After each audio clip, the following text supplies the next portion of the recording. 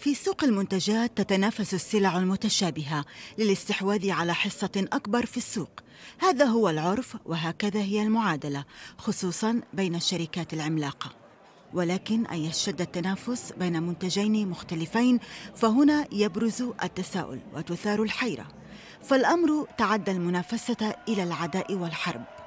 شركتا فيسبوك وأبل تتشابهان في كونهما شركتين كبيرتين للتكنولوجيا لكنهما تخوضان حرب بيانات وخصوصية. هدفها الأساسي الاستحواذ على قطعة أكبر من كعكة العملاء. مصدر عائدات فيسبوك هو الإعلانات. أما مصدر عائدات أبل فتجنيه من بيع أجهزتها وكذلك من متجر التطبيقات الخاص بها وحربهما الحقيقية هي البيانات الشخصية للعملاء.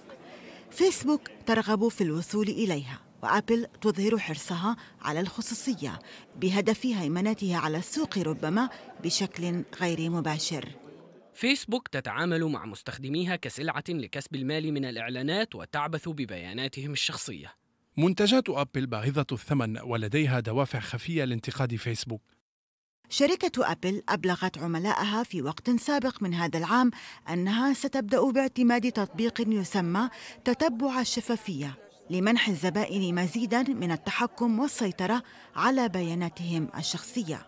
وسيكون بمقدور الناس الموافقة أو رفض إعطاء بياناتهم الشخصية للتطبيقات الأخرى مثل تطبيق فيسبوك. وهو ما لم يكن متاحا سابقا حيث كانت القاعدة العامة والبديهية الموافقة على ذلك. يمثل ذلك مشكلة كبيرة بالنسبة لفيسبوك التي تنشر إعلانات مستهدفة لجني أرباح هائلة.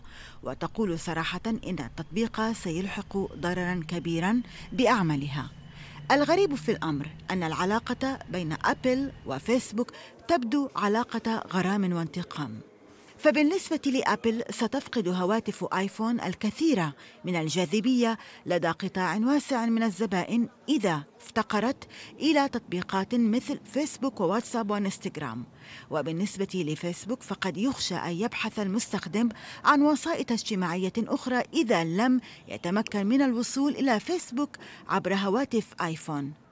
وعام 2021 قد يبشر إما بحرب مشتعلة بين الطرفين أو اتفاق هدنة وربما مصالحة. سماح السيد العربية.